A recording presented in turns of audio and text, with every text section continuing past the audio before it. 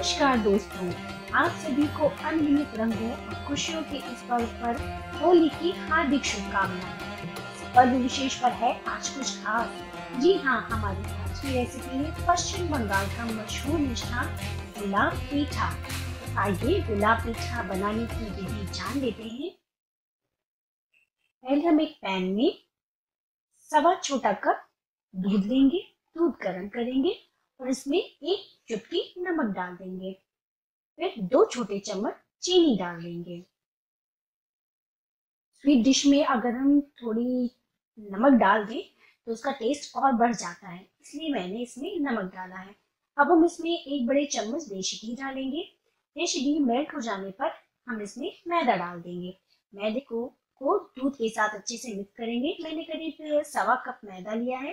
मैंने एक छोटे कप का यूज़ किया है मेज़रमेंट के लिए। इसे अच्छे से मिक्स कर लेंगे। अब हम इसे एक बाउल में निकाल लेंगे। अब हम इसे हाथ से अच्छे से मिक्स कर लेंगे। अब हम गरम दूध से इसका डो तैयार करेंगे। थोड़ा थोड़ा करके दूध डालेंगे इसमें। देखिए मैं थोड़ा थोड़ा दूध डाल रही हूँ। अब मैं हाथों से इसका डो तैयार कर रही हूँ। इसका डो सॉफ्ट तैयार करना है। ये गुलाब अच्छे से बन सके। अब मैं इस पे थोड़ा सा तेल लगा दूँगी। अब हम इसे गीले किचन टॉवल से ढककर 10-15 मिनट के लिए छोड़ देंगे। अब हम शुगर सिरप तैयार करेंगे। इसके लिए मैंने दो छोटे कप पानी लिया है और उसमें दो छोटे कप चीनी डाल दिया है। अब हम इसमें एक चौथाई चम्मच इलायची पाउडर डाल देंगे। हम इसे साइड में कर देंगे और दूसरी साइड हम गुलाब के शेप बनाए, तैयार करेंगे। इसके लिए हम मैदे को थोड़ा सा और इस प्रकार से गूथ लेंगे। हल्का सा मारने के बाद इसका हम लोई तैयार करेंगे। लोई में तेल लगा देंगे और चकले और बेलन में भी तेल लगा देंगे। से बिलते वक्त आसानी से बिल जाए। ये देखिए, इसकी साइज़ को थोड़ा बड़ा कर दिया है मैंने। अब हम इस प्रकार से इसके तीन सर्कल काट लेंगे। अब सर्कल्स को एक दूसरे के ऊपर रख देंगे और इसे साइड में कर देंगे। और हम एक छोटी सी लोई लेंगे और इसमें तेल लगाकर पेलेंगे इससे हम गुलाब के बीज का हिस्सा तैयार करेंगे। देखिए, साइड से हमने इस प्रकार से काट लिया है। देखिए, इस प्रकार से रेक्टेंगल शेप में से काटेंगे। इससे हम गुलाब के बीज का हिस्सा तैयार करेंगे। ये देखिए, इस प्रकार से इसे मोड़ लेंगे और नीचे से दबा लेंगे। गुलाब के बीज का हिस्सा हो गया।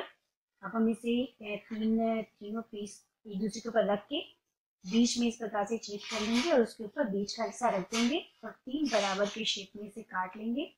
और एक एक हिस्सा उठा के इस प्रकार से चिपका देंगे। देखिए, हम मैं एक एक हिस्सा उठा रही हूँ। ये देखिए, गुलाब का शेप तैयार हो रहा है। ये देखिए, ये बहुत ही ईजी है। बहुत ही ईजी तरीके से हम गुलाब तैयार कर सकते हैं। ये कितना अच्छा गुलाब का शेप तैयार हो चुका है। हम इसके पेटल्स को इस प्रकार से खोल देंगे। देखिए फ्रेंड्स रोज तैयार है। इसी प्रकार से हम सारे मैदे का रोज तैयार कर लेंगे। अब इसको तलने की बारी आ गई है। ये देखिए मैंने गरम तेल में इसे डाल दिया है। आ, तेल बहुत ज़्यादा गर्म नहीं होना चाहिए। मीडियम फ्लेम पर ही इसे गर्म करें। क्योंकि अगर तेल ज़्यादा गर्म हो गया तो बाहरी हिस्सा तो पक जाएगा लेकिन इसके अंदर का हिस्सा नहीं पकेगा। इसलिए गैस के फ्लेम को मीडियम ही रखेंगे। एक साइड हम रोज बनाते जाएँगे और गर्म तेल में डालते जाएँगे। ये देखिए, ये तो ये तल चुके हैं।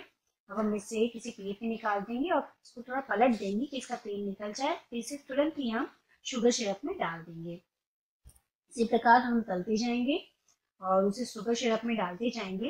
करीब पंद्रह बीस मिनट के लिए हमें इसे शुगर सिरप में छोड़ना है।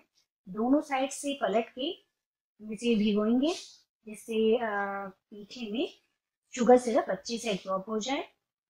अब देखिए, पंद्रह बीस मिनट बाद मैंने इसे निकाल दिया है। ये हमारा गुलाब पीठा सर्व करने के लिए तैयार है। दोस्तों, मेरी रेसिपी आपको पसंद आई हो तो मेरे वीडियो को लाइक, शेयर करें, मेरे चैनल को सब्सक्राइब करें और फेसबुक, इंस्टाग्राम पर देखें फॉलो करें